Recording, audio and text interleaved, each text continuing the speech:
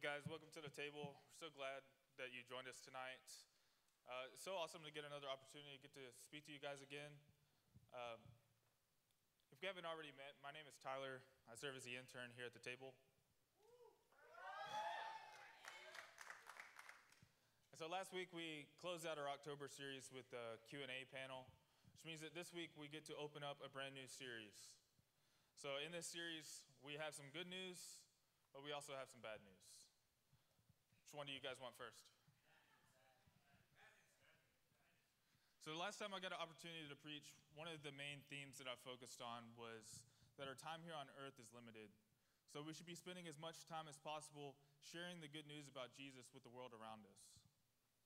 But of course, we can't share the good news about Jesus if we ourselves don't know what that good news is. So, over the next three weeks, we're going to be diving deep into Ephesians chapter 2, and we're going to examine exactly what the good news of the gospel is.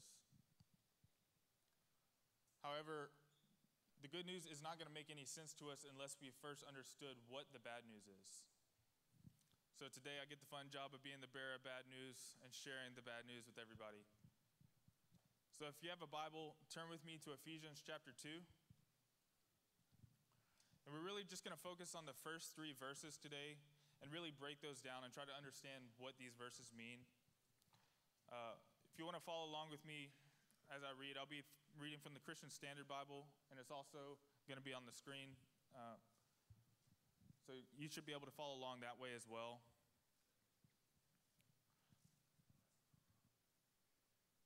So, starting in verse 1, it says, And you were dead in your trespasses and sins, in which you previously lived according to the ways of this world, according to the ruler of the power of the air, the Spirit now working in the disobedient.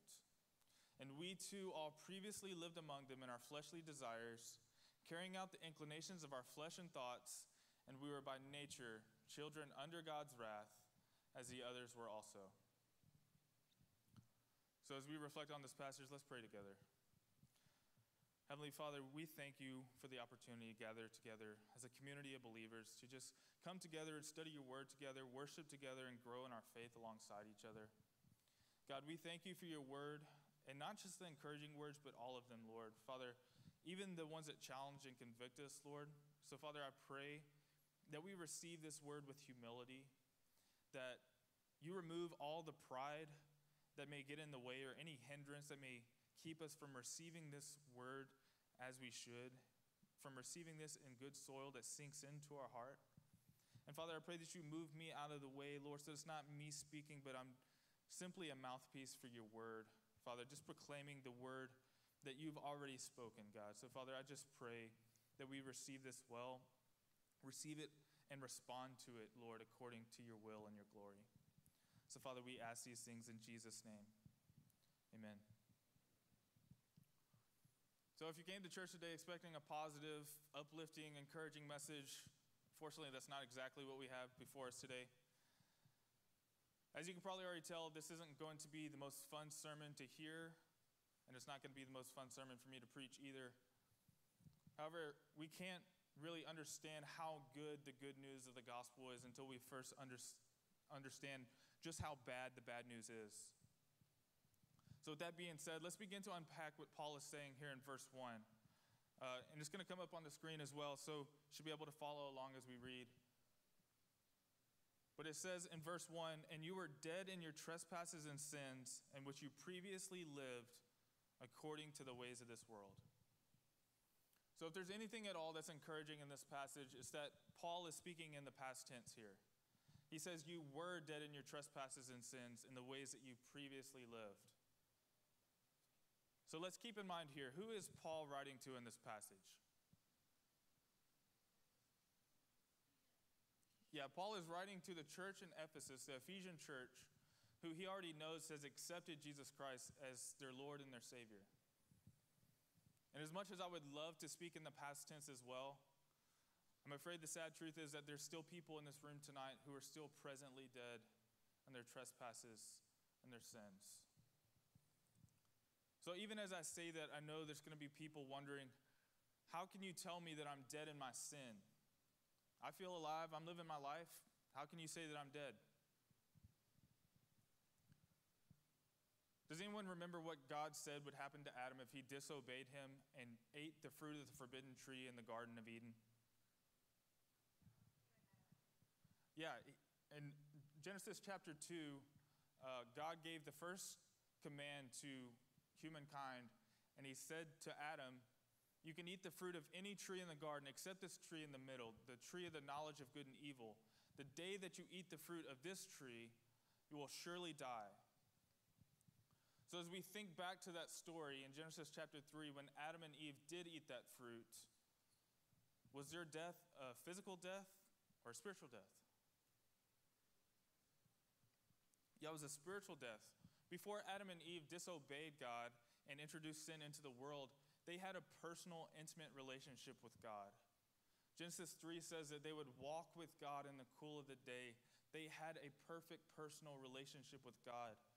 Yet once they disobeyed God and rebelled against his command, they were banished from the Garden of Eden and they were separated from the presence of God. So, where they once lived in perfect freedom and harmony with God in the garden, now sin brought separation between humanity and God. So, even though their sin didn't lead to an immediate physical death, sin caused them to be separated from the one who was the source of their life. So, in the same way, you can be alive in the body, yet dead in the spirit. And Paul's going to refer to the same teaching in his letter to the Romans. Romans chapter 5 says, When Adam sinned, sin entered the world. Adam's sin brought death, so death spread to everyone, for everyone sinned. So, how do you know if someone is actually dead in their sins? If we're honest, I think this is a question that none of us really think about. We don't spend our day wondering who we know in our life that's dead in their sin. Yet, if I were to personally ask you who you knew in your life that was dead in their sin, it's likely that someone's going to come into your mind, or maybe there's going to be a category of people that's going to come into your mind. And the weird thing about that is, most people would have different categories of people. And I think this is because we don't really have a standard for what it means to be dead in your sins. The truth is, being dead in sin can look a variety of different ways. Maybe the person that popped into your mind is a guy that you know that is physically abusive to his wife or to his kids. Or maybe the person that popped into your mind is a guy that you went to college with who is the weekend warrior, just living for the weekend so he can go get plastered drunk with his friends. Or maybe it's the family member that you have that has never known any life outside of being under the influence of drugs or just living each week waiting for that next high. I think we're more likely to come to terms that these people are dead in sin because it's obvious that they're under the influence of things other than God. Whether it be drugs or alcohol or anger or frustration but what about the sweet old lady down the street who just bakes cookies and spends time with their grandkids? Or what about the hardworking guy at your office who's just grinding out the extra hours to provide a good life for his family? Or how about the devout Muslim or uh, Mormon friend that you have that's spending their entire life devoted to the religious convictions? Are these people dead in their sins too? These are the hard questions that we neglect or shy away from, but they're questions that we need to answer. In fact, I think our real problem is that we're asking all the wrong questions. We ask, is this a good person or a bad person? Are they living a moral life or an immoral life? But the question that we should be asking is, are they dead in their sin or are they alive with Christ? See, the gospel is not about making a bad person good, the gospel is about making a dead person alive. So let's go back to Romans chapter 5. We're going to put it on the screen here too so you guys can see.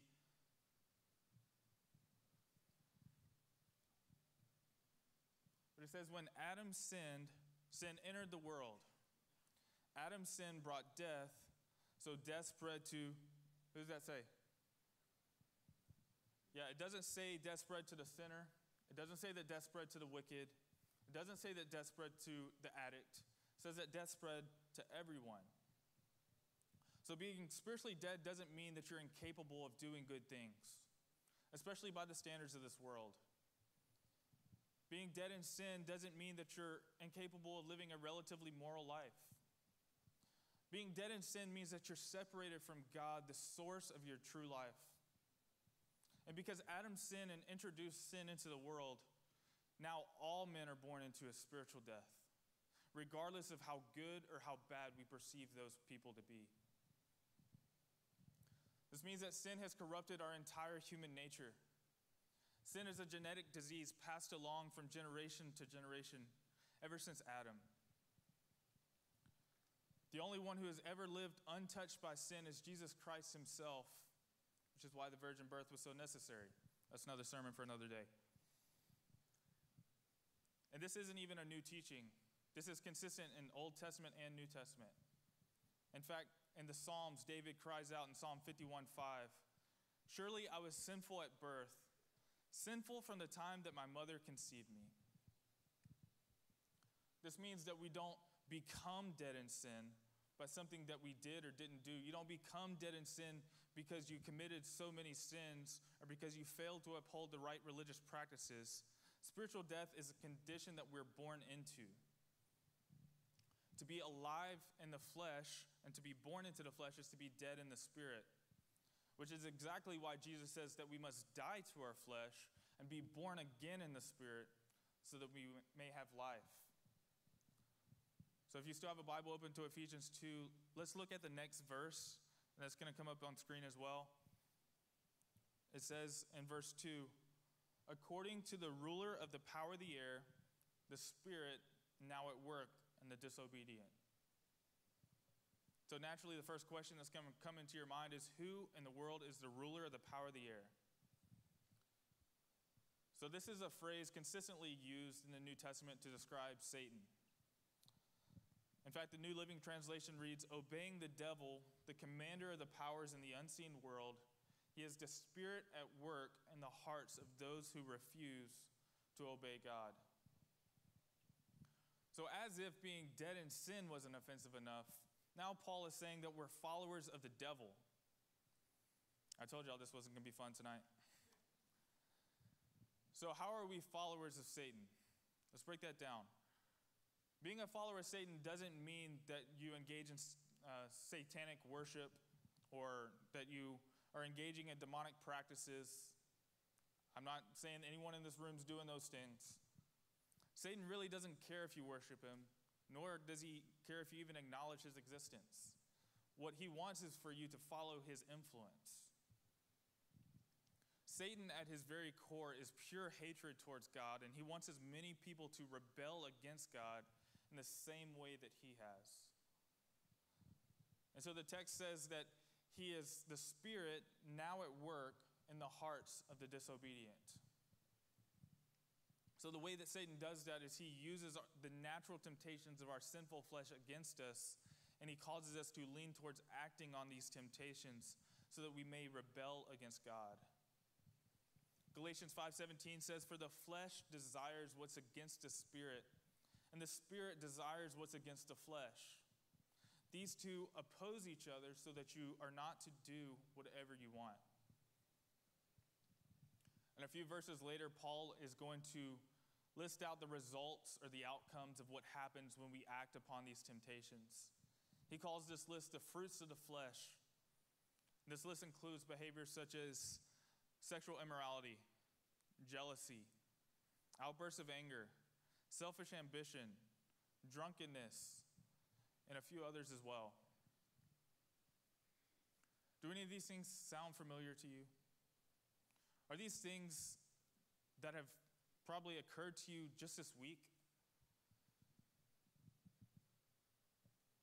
These are the things that we're good at.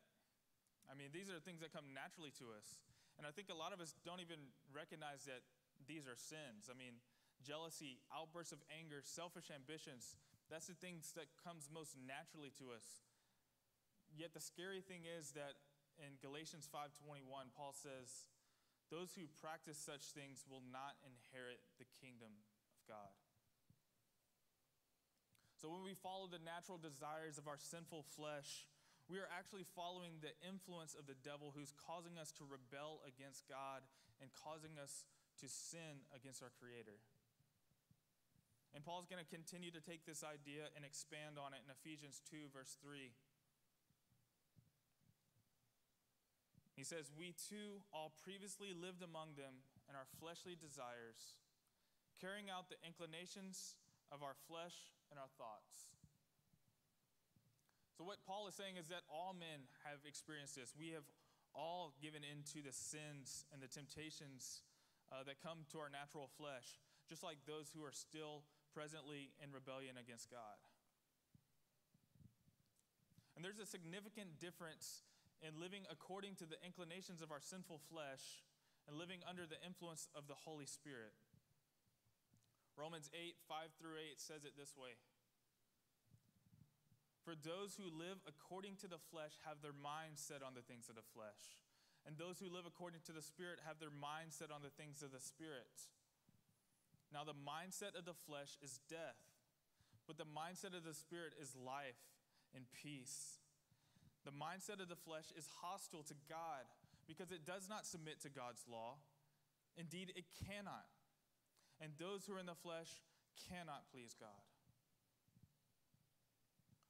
So the mind of the flesh stands in direct opposition to God's Spirit. So we cannot live according to the temptations of our flesh and act on these temptations that lead us to sin and still think that we're pleasing God. We cannot rebel against God's commands and do the things that we want to do and still think that we're good with God. So, this passage in Ephesians 2 is teaching us that not only are we dead in our sin, but we're actually wicked and selfish people at our core. So, through most of this message so far, we've just been thinking theologically, but let's take a step back and think practically. I know there's not a lot of parents in the room, but there's a lot of people in here that work with children, whether it be at a school or uh, with the children's ministry.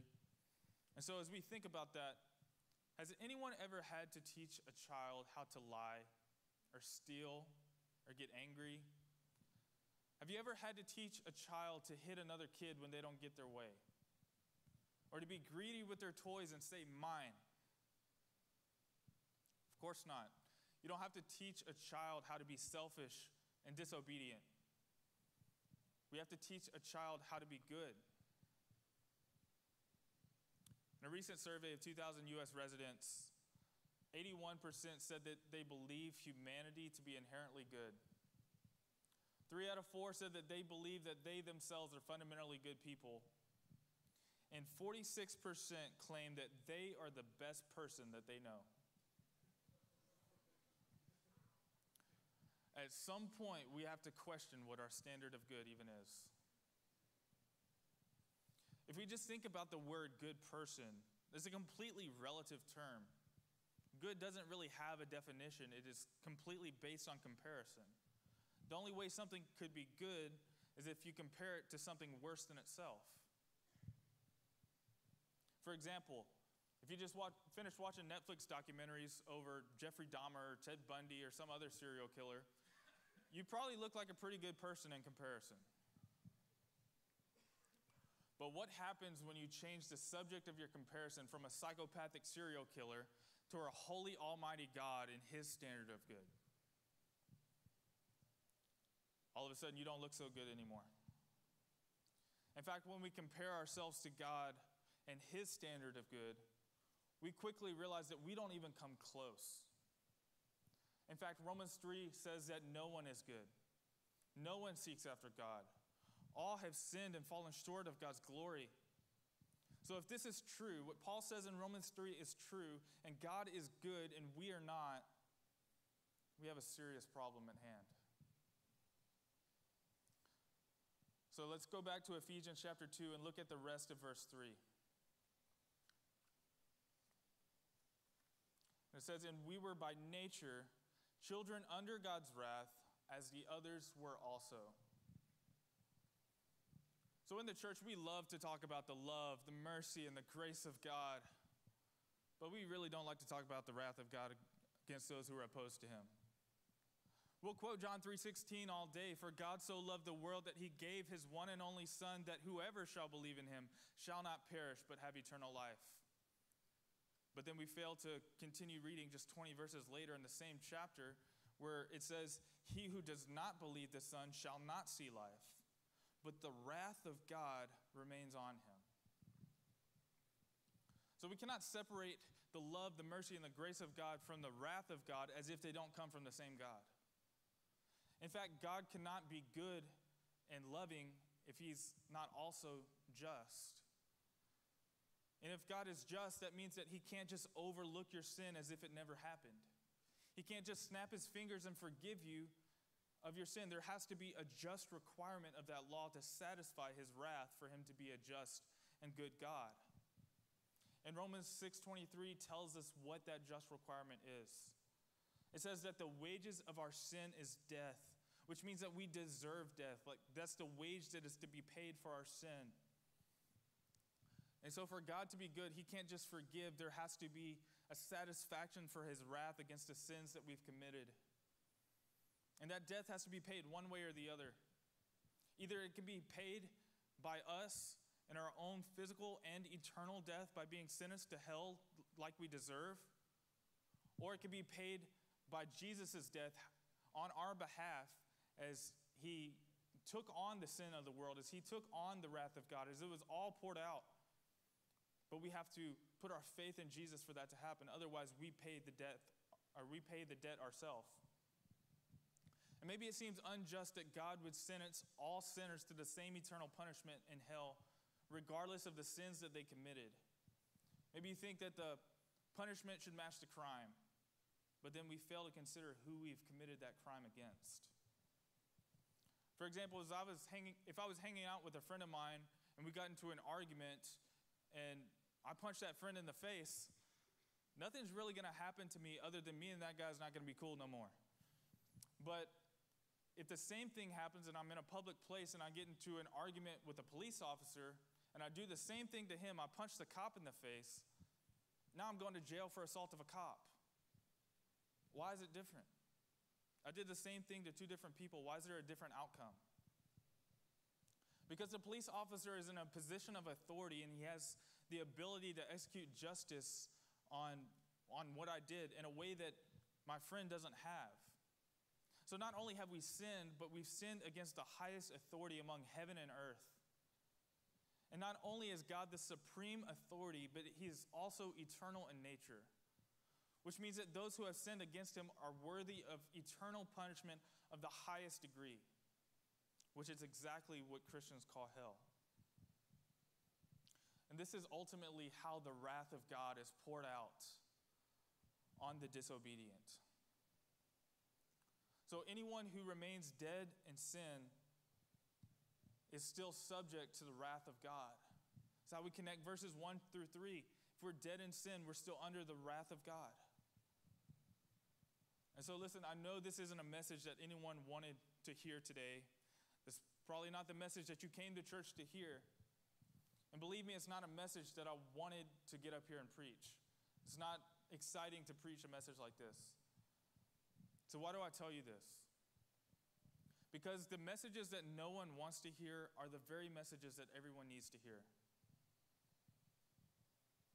And at the beginning of this message, I told you that in this series that there would be bad news and that there would be good news. Ephesians 2 1 through 3 lay out the bad news. And the bad news is worse than we thought it would be, but that just makes the good news that much better. It just makes the good news mean that much more to us. Because if we didn't hear the bad news, if we didn't understand the bad news, then we wouldn't think that we needed the good news. And the bad news isn't just that we're bad people who need to be made good. It's not just that we need to go to church more, we need to be involved in more service activities. The bad news is that we are dead people who need to be made alive in Christ, which means that you can't fix yourself. Galatians 2:21 says that if we can make ourselves right with God by our own works, then there's no need for Christ to die. So your good works and your religious activity is not going to save you. In fact, Jesus' harshest rebukes came to the religious people who tried to let their religious activity and good works save them without submitting to Christ. Matthew 23 talks about uh, one of his encounters with the Pharisees, and he compares them to a whitewashed tomb, which simply means that they look good on the outside. Everything looks good and pretty on the outside, but on the inside, they're still full of dead man's bones. And so that's exactly what religion without Jesus is. We look good on the outside, we look good to whoever we're trying to impress, but on the inside, we're still dead in our sin. So we need to understand that good people don't go to heaven, saved people do.